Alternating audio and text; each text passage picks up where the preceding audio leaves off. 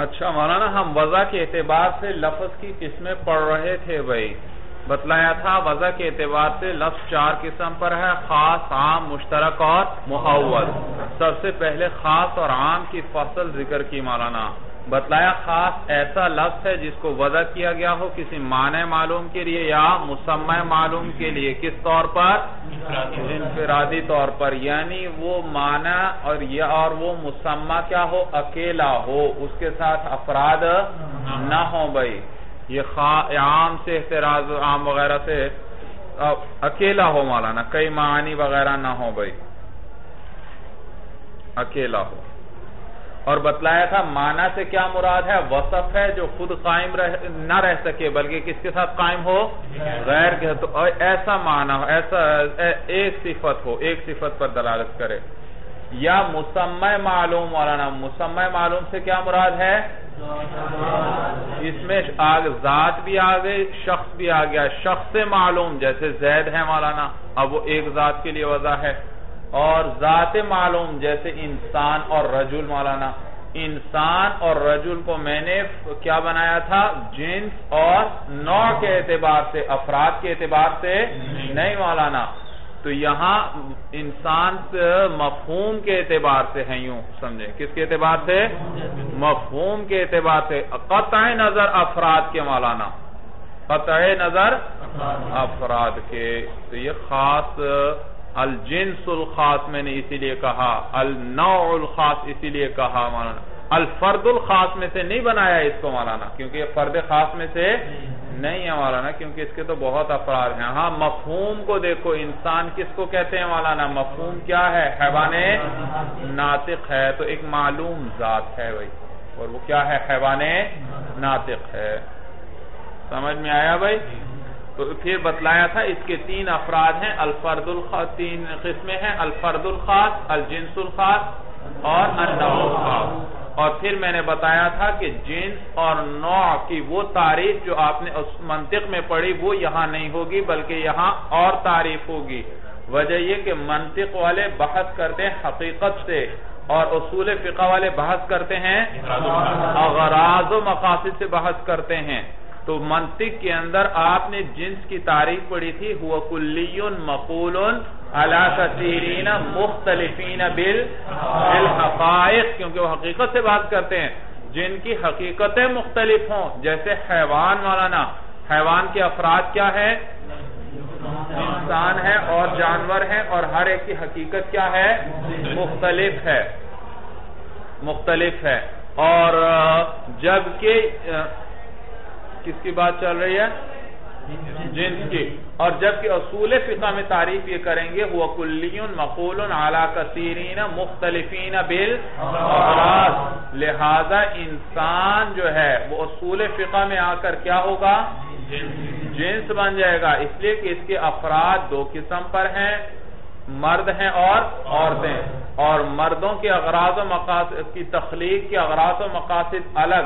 عورتوں کی تخلیق کے اغراض و مقاصد الگ الگ ہیں۔ تو لہذا یہ کیا ہوا؟ اصول فقہ کے اعتبار سے جنس ہوا بھائی، مختلف ہوئے ان کے اغراض و مقاصد۔ اور پھر اس کے بعد نو کی تعریف کی تھی۔ تو مناطقہ نو کی تعریف کرتے تھے۔ وہ کلیون مقول اعلی کثیرین متفقین بل جن کی حقیقت ایک ہو۔ تو انسان ان کے نزدیک کیا ہوا؟ نو۔ اور اصول فقہ میں کیا ہوا؟ جنس ہوا مولانا۔ تو ان کے نزدیک نو، اس لیے کہ مرد ہو یا عورت، سب کی حقیقت کیا ہے؟ سب حیوانے ناطق ہیں، ان کی ایک ہی حقیقت ہے۔ اور جبکہ اصول فقہ والے تعریف کرتے ہیں، وہ کلیون مقول اعلی کثیرین متفقین بالاغراض لہذا اب ان کے نزدیک نو کیا ہوئی؟ رجل۔ رجل کے افراد سب کے اغراض کیا ہیں؟ ایک ہیں۔ اسی طرح اور کیا ہوئی؟ امرا۔ کیونکہ اس کے اغراض بھی سب کے ایک ہیں مولانا۔ ایک ہیں۔ اس کے بعد عام کی تاریخ پڑی تھی مولانا کہ ہر ایسا لفظ ہے جو مجموعے کو شامل ہو افراد کے۔ پھر یہ مجموعے کو شامل یا تو لفظوں کے اعتبار سے ہوگا یا معنی کے اعتبار سے۔ لفظوں کے اعتبار سے جیسے مشرکون اور مسلمون وغیرہ مولانا۔ تو مسلمون جمع ہے کس کی مسلم کی اور جب وونون آپ نے لگا دیا اب یہ کم از کم کتنے افراد پر دلالت کرے گا؟ تین افراد۔ ہونے چاہیے پھر مسلمون کہیں گے مولانا۔ تو دیکھو اب افراد آ گئے بھئی افراد کے مجموعے کو پر یہ بولا جاتا ہے لہذا یہ خاص ہوا ہے عام ہوا مولانا؟ عام ہوا۔ اور کبھی معنن و لفظوں کے اعتبار سے تو جمع نہیں ہے، مجموعے پر جمع نہیں ہے۔ لیکن معنی کے اعتبار سے کیا ہے، کس پر بولا جاتا ہے؟ مجموعے پر مولانا۔ جیسے من اور ما۔ اب یہ من اور ما لفظوں کے اعتبار سے تو مفرد، لیکن معنی کے اعتبار سے جمع ہے من سے کیا مراد ہے؟ زویل کن پر بولا جاتا ہے؟ زویل عقول پر۔ زویل عقول کیا ہے مولانا؟ انسان جنات اور فرشتے اور ماں کس پر بولا جاتا ہے؟ غیر زبیل عقول پر بولا جاتا ہے۔ یہاں تک بات سب کو سمجھ میں آ گئی۔ کوئی مشکل تو نہیں ہے۔ کوئی اشکال بھائی۔ سب کو اچھی طرح سبق سمجھ میں آیا؟ جی۔ اب خاص کا حکم بتلانے لگے ہیں مولانا۔ کہتے ہیں وَحُکْمُ الْخَاصِ مِنَ الْكِتَابِ وُجُوبُ الْعَمَلِ بِهِ لَا مَحَالَةَ۔ اور خاص کا حکم کتاب اللہ میں سے جو ہے، اس خاص کا حکم کیا ہے؟ وجوب العمل بھی کہ اس پر عمل کرنا واجب ہے۔ لا محالتا ای قطعا و یقینا قطعی طور پر اور یقینی طور پر۔ مولانا، قطعی ہے مولانا، خاص کیا ہے؟ قطعی ہے۔ اس پر عمل کرنا واجب۔ اس پر عمل کرنا واجب فَإِن قَابَلَهُ خبر الواحد او القیاس اگر اس کا مقابلے میں کرے کون والا نا، خبر واحد یا قیاس؟ بھئی کتاب اللہ کا خاص آیا، اس کے مقابلے میں خبر واحد آگئی یا قیاس؟ خبر واحد کسے کہتے ہیں؟ جانتے ہو بھئی؟ حدیث کی قسم ہے۔ یاد رکھو، حدیث عند الفقہا فقہا کے نزدیک حدیث تین قسم پر ہے۔ فقہا کے نزدیک حدیث تین قسم پر ہے۔ خبر متواتر، خبر مشہور اور خبر واحد۔ خبر متواتر، خبر مشہور اور خبر واحد۔ خبر متواتر وہ حدیث ہے جس کے روایت کرنے والے جس کے روایت کرنے والے ہر زمانے میں اتنے کثیر افراد ہوں، اتنے کثیر افراد ہوں کہ عقل ان کے اجتماع علی الكذب کو محال سمجھے۔ کہ عقل ان کے اجتماع علی الكذب کو محال سمجھے۔ سمجھ میں آئی تاریخ؟ خبر متواتر کس کو کہتے ہیں؟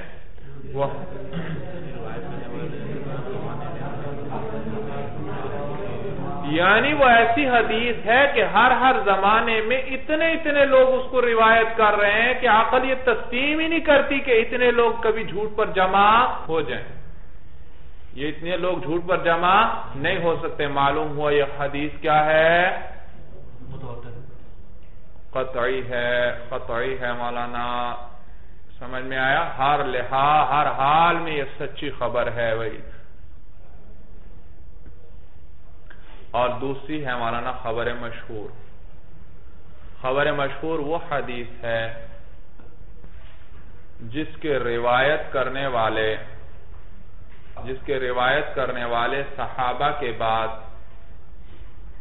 جس کے روایت کرنے والے صحابہ کے بعد کسی بھی زمانے میں تین سے کم نہ ہو۔ تین سے کم نہ ہو۔ سمجھ میں آیا؟ بھائی، خبر مشہور کسے کہتے ہیں بھائی؟ صحابہ کی بات نہیں کر رہا، صحابی چاہے ایک بھی ہو مولانا، صحابی کیا ہے؟ چاہے ایک بھی ہو، ہمارے نزدیک معتمد ہے مولانا۔ ہاں بعد کے کسی زمانے میں بھی اس کے روایت کرنے والے تین سے کم، تابعین بھی کم از کم تین ہو یا تین سے زیادہ۔ تبع تابعین بھی کم از کم تین یا تین سے اسی طرح بات کے کسی زمانے میں بھی تین سے کم نہ ہو تو یہ کیا کہلاتی ہے؟ خبر مشہور. اور خبر واحد. اور اگر کس صحابہ کے بعد، اور اگر صحابہ کے بعد کسی زمانے میں روایت کرنے والے تین سے کم ہوں یعنی دو یا ایک ہوں یعنی دو یا ایک ہوں تو پھر اسے خبر واحد کہتے ہیں۔ تو پھر اسے خبر واحد یا خبر آحاد کہتے ہیں۔ تو پھر اسے خبر واحد یا خبر آحاد کہتے ہیں۔ سمجھ میں آیا؟ جی۔ خبر متواتر جس کی روایت کرنے والے ہر زمانے میں اتنے زیادہ ہوں کہ عقل ان کے اجتماع الکذب کو محال سمجھے کہ اتنے لوگ کبھی بھی جھوٹ پر جمع نہیں، معلوم ہو یہ خبر ہر حال میں سچی ہے۔ اور خبر مشہور کیا ہے کہ جس کے راوی صحابہ کے بعد تابعین تبا تابعین یا بعد کے کسی زمانے میں بھی تین سے کم کم سے کم اگر کسی زمانے میں ہو تو تین ہو، اس سے کم نہ ہو، اس سے زیادہ۔ اور پھر خبر واحد ہے جس کی روایت کرنے والے صحابہ کے زمانے کے بعد کسی زمانے میں بھی مثلا تابعین صرف دو ہیں یا ایک ہے یا تبا تابعین صرف اس کو روایت کرنے والے دو ہیں یا ایک ہے۔ تو پھر یہ کیا کہلائے گی؟ خبر واحد یا خبر آحاد کہلائے گی بھائی۔ سمجھ میں آیا؟ جی۔ خبر آحاد کہلائے گی۔ خبر آحاد کہلائے گی بھائی۔ تو اب مولانا ایک بات قرآن سے معلوم ہو رہی ہے مولانا۔ اور قرآن سے۔ اور قرآن کے کس سے؟ خاص۔ کس سے؟ خاص۔ تو اب اس کے مقابلے میں بظاہر حدیث آ گئی۔ کتاب اللہ کے خاص سے ایک بات کا پتہ چل رہا ہے۔ ایک حکم کا اور حدیث سے بظاہر دوسرے حکم کا دوسرا حکم معلوم ہو رہا ہے بھائی۔ سمجھ میں آیا بھائی؟ ایک ہی مسئلے کے اندر بھائی، ایک حدیث سے کچھ اور معلوم ہو رہا ہے بظاہر اور قرآن سے کچھ اور۔ تو اور کیا ہے ہمارا نا قرآن کے مقابلے میں؟ خبر واحد۔ تو اس کے مقابلے میں خبر واحد آ جائے۔ یا قیاس آ جائے مولانا؟ کیا آ جائے؟ قیاس آ جائے۔ قیاس آگے ہم بحث پڑھیں گے مولانا بڑا طویل باب ہے۔ قیاس پہ۔ قیاس کہتے ہیں اندازہ لگانا ایک چیز کا اندازہ لگانا دوسری سے مولانا ایک چیز کا حکم معلوم کرنا دوسری چیز سے مولانا۔ مثلا آپ جانتے ہیں بھائی شراب حرام ہے۔ شراب کیا ہے۔ حرام ہے۔ اور اس کے اندر اس میں غور کیا آپ نے۔ کیوں حرام ہے شراب؟ تو پتہ چلا اس میں نشہ ہے۔ اس میں کیا ہے؟ نشہ ہے۔ اب آپ نے اور ہیروئن میں غور کیا مولانا۔ دیکھا، ہیروئن میں بھی وہی علت پائی جا رہی ہے یعنی نشے کی۔ تو جو حکم شراب کا تھا، جو علت شراب میں تھی، وہی علت کس میں ہے؟ کس میں؟ ہیروئن میں بھی۔ تو جو حکم شراب کا تھا، وہ آپ نے کس پر لگا دیا؟ ہیروئن۔ تھی پہلے زمانے میں؟ نہیں، اس کا حکم تو نہیں ہے مولانا، نس تو اس میں نہیں موجود۔ اب ہم قیاس کریں گے اس کو۔ اس جیسی اور چیز کو دیکھیں گے اور اس کا جو حکم ہوگا، وہی حکم اس پر لگائیں گے۔ ہم نے دیکھا کہ شراب میں بھی اس کی طرح، اس میں بھی کیا ہے؟ نشہ۔ اس میں بھی کیا ہے؟ نشہ۔ اور شراب کا حکم تو ہمیں معلوم۔ وہ کیا ہے؟ حرام۔ معلوم وہ ہیروئن بھی کیا ہے؟ تو یہ آپ نے قیاس کیا، مولانا، اندازہ لگایا، ایک چیز کے حکم کا پتہ لگایا، دوسری چیز کے دوسری چیز سے۔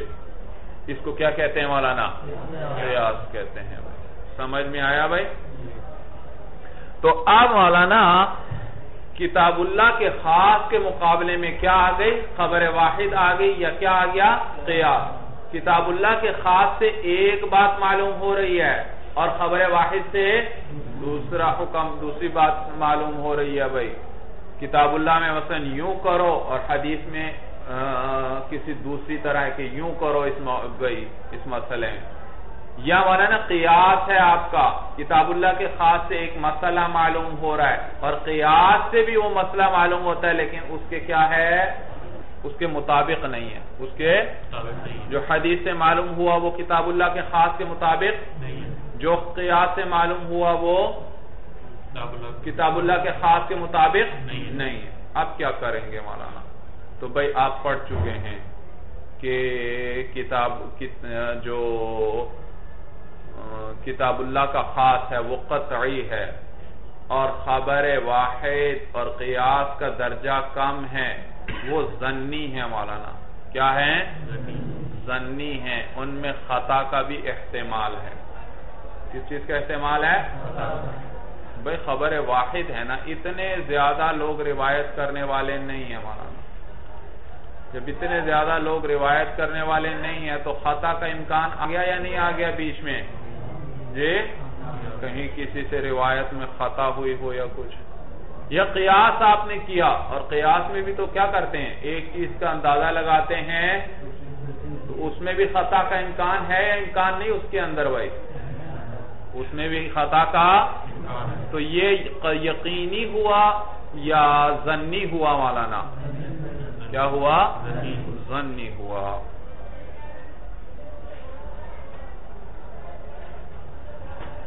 یعنی غالب گمان ٹھیک کا ہے، لیکن بہرحال اس میں کیا ہے؟ خطا کا بھی امکان۔ تو قطعی نہ رہی بات ہوئی جبکہ خبر متواتر بھی قطعی ہوتی ہے مولانا۔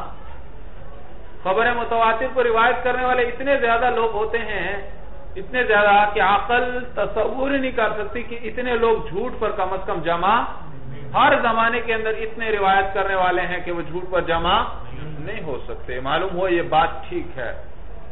قطعی طور پر اس میں کسی قسم کی خطا نہیں۔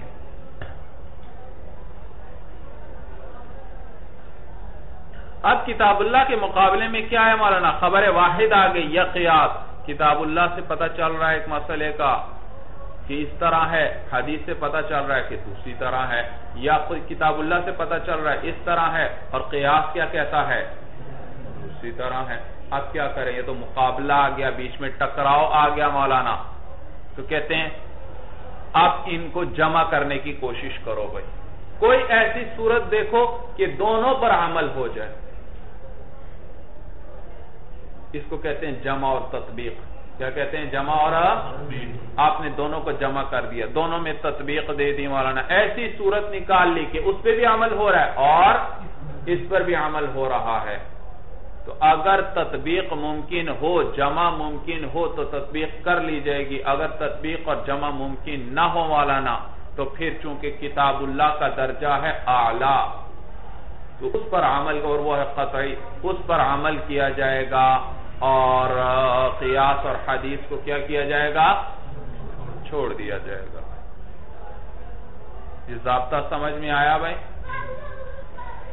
دیکھیے بھائی۔ وحکم الخاص من الكتاب وجوب العمل به لا محالت محالہ بفتح المیم ہے مولانا. اور خاص کا حکم کتاب اللہ کتاب اللہ میں سے خاص کا حکم وجوب العمل به، اس پر عمل کا واجب ہونا ہے. لا محالت قطعی طور پر. فَإِن قَابَلَهُ خَبَرُ الْوَاحِدِ اَوِ الْقِيَاسُ، اگر اس کا مقابلے میں آئے خبر واحد او القیاس یا قیاس فَإِنْ أَمْكَنَ الْجَمْعُ بَيْنَهُمَا، پس اگر اگر ممکن ہو جمع کرنا ان کے بیچ، بدون تغییر فی حکم الخاص، کہ خاص کے حکم میں تبدیلی کیے بغیر وہی۔ خاص کے حکم میں؟ بھئی ایسے طور پہ جمع کرنا ہے کہ خاص کے حکم میں کوئی تبدیلی ہاں اس کو نہیں بدلنا، اس کو اسی طرح برقرار رکھنا ہے۔ کوئی صورت نہیں۔ تو اگر بغیر تبدیلی کیے خاص کے حکم میں جمع کرنا ممکن ہو یو عمل تو پھر دونوں پر عمل کیا جائے گا۔ خاص پر بھی اور خبر واحد پر بھی، یا خاص پر بھی اور قیاس پر بھی، دونوں پر عمل کیا جائے گا۔ وَإِلَّا يُعْمَلُ بِالْكِتَابِ، ورنہ عمل کیا جائے گا کتاب اللہ پر۔ وَيُتْرَكُ مَا يُقَابِلُهُ، اور ترک کر دیا جائے گا اس کو جو اس کے مقابلے میں ہے۔ اس کے مقابلے میں کیا ہے؟ خبر واحد یا قیاس ہے مولانا۔ مثاله في قوله تعالى يتربصن بأنفسهن ثلاثة قروء، فإن لفظة الثلاثة خاص في تعريف عدد معلوم فيجب العمل به.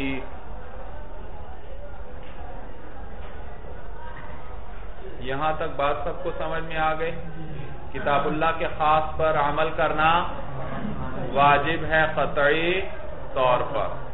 اگر اس کے مقابلے میں خبر واحد اور قیاس ہے مولانا، تو اگر کیا ممکن ہو دونوں میں تطبیق ممکن ہو، خاص میں تبدیلی کیے بغیر تو پھر تطبیق دے دی جائے گی اور دونوں پر عمل کیا جائے گا۔ ورنہ کس پر عمل کیا جائے گا؟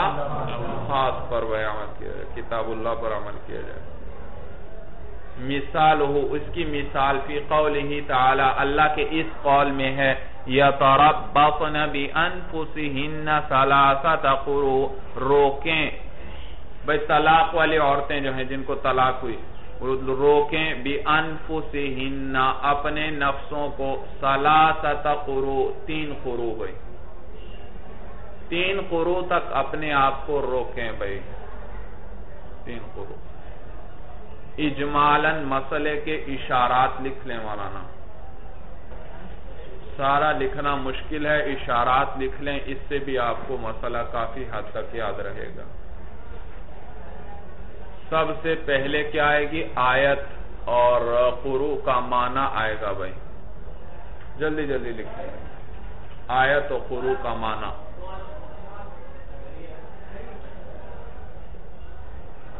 اچھا پھر اس کے بعد آئے گا مولانا۔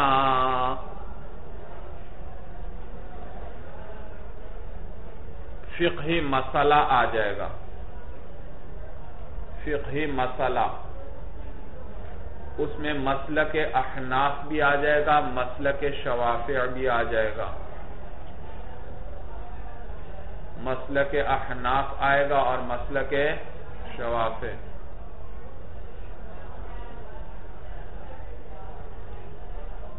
اس کے بعد آئے گی مولانا احناف کی دلیل۔ احناف کی دلیل۔ اس کے بعد آئے گی مولانا شوافے کی دلیل۔ اس کے بعد آئے گی شوافے کی دلیل۔ دو تقریریں ہوں گی اس کی۔ دو تقریریں ہوں گی۔ اس کے بعد شوافے کی دلیل کا جواب دیں گے۔ از جانب احناف۔ اس کے بعد شوافے کی دلیل کا جواب دیں گے۔ از جانب احناف۔ اس کے بعد شوافے کا ایک اعتراض ذکر کیا جائے گا احناف پر۔ اس کے بعد شوافے کا ایک اعتراض ذکر کیا جائے گا احناف پر۔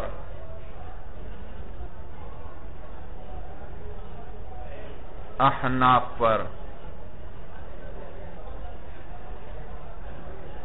پھر احناف کی طرف سے اس کے جوابات ذکر ہوں گے۔ پھر احناف کی طرف سے اس کے جوابات ذکر ہوں گے۔ پھر اس اختلاف پر مرتب ہونے والے کچھ مسئلے ذکر ہوں گے۔ پھر اس اختلاف پر مرتب ہونے والے کچھ مسئلے ذکر ہوں گے۔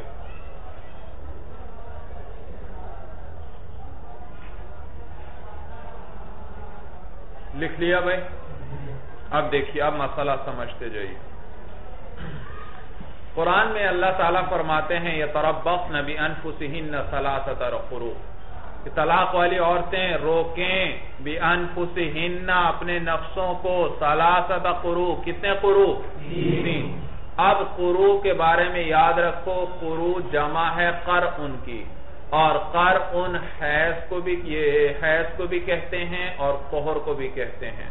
یہ حروف افضاد میں سے ہے مولانا، جس کا اطلاق حیض پر بھی ہوتا ہے اور توہر پر بھی۔ جیسے با کس میں سے ہے مولانا؟ کلمات ازداد میں سے ہے۔ اس کا معنی بیچنے کے بھی آتے ہیں اور اس کے معنی خریدنے کے بھی آتے ہیں۔ لیکن زیادہ کس میں اب استعمال ہے؟ بیچنے میں۔ تو یہ ازداد میں سے ہے۔ اسی طرح حیض اور توہر ایک دوسرے کی زد ہیں۔ جیسے خریدنا اور بیچنا ایک دوسرے کی زد ہیں۔ تو یہ قر ان دونوں پر بولا جاتا ہے۔ اس کے معنی حیض کے بھی آتے ہیں عربی میں اور توہر کے بھی آتے ہیں۔ اب فقہی مسئلہ سمجھو والانا اس بات میں شواف اور احناف کا اختلاف ہے۔ کہ جب عورت کو طلاق دی جائے تو وہ عدت جو گزارے گی وہ توہر کے ساتھ شمار کرے گی یا حیث کے ساتھ شمار کرے گی؟ احناف کہتے ہیں عورت کی عدت تین حیض ہیں۔ تین حیض جب گزر جائیں گی، عورت کی عدت کیا ہو جائے گی؟ پوری ہو جائے گی۔ جبکہ شوافع فرماتے ہیں کہ عورت کی عدت کا حساب توہر سے لگایا جائے گا۔ وہ توہر جس میں طلاق دی گئی، وہ توہر اور اس کے علاوہ دو مزید توہر ہو جائیں گے۔ تو یہ کیا ہوا؟ تقریباً تین توہر تین توہر بن گئے، بھائی، یہ عورت کی عدت ہے۔ تو اس توہر کے گزرنے کے بعد اور اگلے دو توہر مزید جب گزر جائیں تو عورت کی کیا ہو جائے گی؟ عدت پوری ہو جائے گی۔ مسئلہ سمجھ میں آیا؟ مسئلہ کیا اگر عورت کو طلاق دی جائے مولانا، تو احناف کے نزدیک عدت کس چیز کے ساتھ شمار کی جائے گی؟ حیث کے ساتھ، اور شوافے کے نزدیک توہر کے ساتھ بھائی۔ توہر تو احناف کے نزدیک تین حیض جب گزر جائیں، عورت کی عدت پوری ہو جائے گی۔ شوافے کے نزدیک بھی تین توہر مولانا تقریباً تین توہر بن جاتے ہیں۔ ایک وہ توہر جس کے اندر کیا ہوئی؟ طلاق دی گئی۔ اور دوسری، دوسرا اگلا اور اس سے اگلا۔ تو یہ جب تیسرا توہر گزر جائے گا تو عورت کی عدت کیا ہو جائے گی؟ پوری ہو جائے گی بھائی۔ سمجھ میں آیا بھائی؟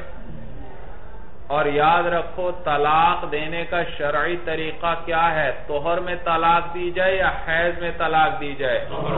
توہر میں طلاق دی جائے۔ اس لیے کہ حضرت عبداللہ ابن عمر رضی اللہ تعالی عنہما نے حیض میں بیوی کو طلاق دی تھی۔ حضور صلی اللہ علیہ وسلم نے رجوع کرنے کا حکم دیا بھائی، کہ رجوع کرو اور پھر اگر ارادہ بنے تو کس میں طلاق دو؟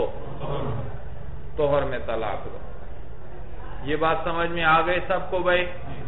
اب اس مسئلے میں احناف کی دلیل یہ آیت ہے مولانا۔ آیت میں اللہ فرماتے ہیں يَتَرَبَّسْنَ بِأَنفُسِنَ سَلَاسَةَ قُرُو کتنے قرو ذکر ہوئے؟